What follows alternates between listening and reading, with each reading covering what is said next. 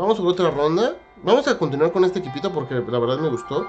Hace años no juego el Pokémon Go. ¿Cómo crees? ¿Por qué? ¿Desde hace cuánto? Yo no lo he dejado de jugar. Sinceramente creo que... No, no, no es que se me haya vuelto vicio, pero sí es algo que me gusta mucho. Me relaja bastante. Eh, sobre todo el, farmear. El farmear o buscar eh, shinies me gusta mucho. Para mí desde cierto punto es terapéutico. Tengo muchos, muchas conexiones con el juego. Muchos buenos recuerdos. Empezando porque, por ejemplo, cuando empezó el juego y recién lo había descargado, incluso antes de que estuviera en la Play Store, estaba trabajando en una refaccionaria que es donde conocí a mi esposa. Y la primera vez, de las primeras veces que salí con ella, Tlatelolco, encontré un Gastly, fue mi primer fantasma en el juego. Y es, ese es un recuerdo increíble. Aún tengo el Gastly, de hecho. Eso para, para mí es como de, oh, qué bonito.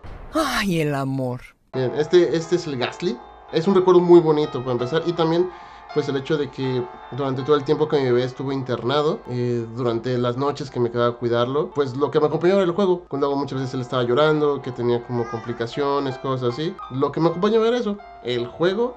Y recuerdo muchos community days que los pasé jugando precisamente en, en el hospital. Y es por eso que tengo esta conexión tan grande con el juego. Tengo demasiados recuerdos con él. Eso es lo que me ha animado a seguir jugando. por ejemplo, este Tochik, ahí está la fecha. Cuando lo capturé fue durante el Community Day. Recuerdo ese día entró él al hospital, lo internaron y por eso tampoco no pude jugar como mucho. Y eso me lleva precisamente a otro recuerdo. De alguna manera, no recuerdo exactamente cómo, pero creo que a través de un grupo de Facebook o algo así, eh, me empecé a, conectar con gente que juega el juego. Y de ahí a WhatsApp, muchas veces hicimos raids juntos, torneos, inclusive que armamos, que eso estaba muy padre. Que a partir de que empecé a a trabajar aquí en ese trabajo, dejé de hacer y ya no he podido pues eh, mantener la misma comunicación. Ahí, también, eh, cuando estaba en el hospital, pues también con esta gente, pues platicaba, nos dábamos ánimos. Conocí gente que estaba como en la misma situación y de verdad que eso se me hacía como un poquito más llevadero eh, el asunto. Con ellos muchas veces aprendí, fui aprendiendo del juego porque yo no sabía muchísimas cosas. Yo solamente jugaba como por jugar. Esto de los IVs, o sea, tantas cosas, intercambios.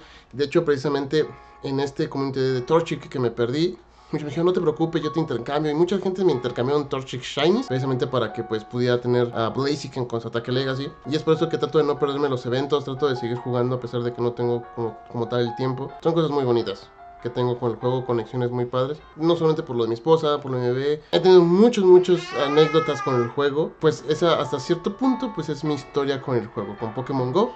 yo creo que de los juegos de, de que fuera de las consolas y cosas así, que tengo mejores recuerdos y gratos así y con el que yo puedo decir, ¿saben qué? Con este juego he disfrutado demasiadas cosas, sería poco. Pokémon Go, de verdad. Para mí algo fue muy increíble, o sea, independientemente de que me guste el juego. Continuemos con las rondas, vamos por, por más. Y es que el pequeño refunfuño nos deja.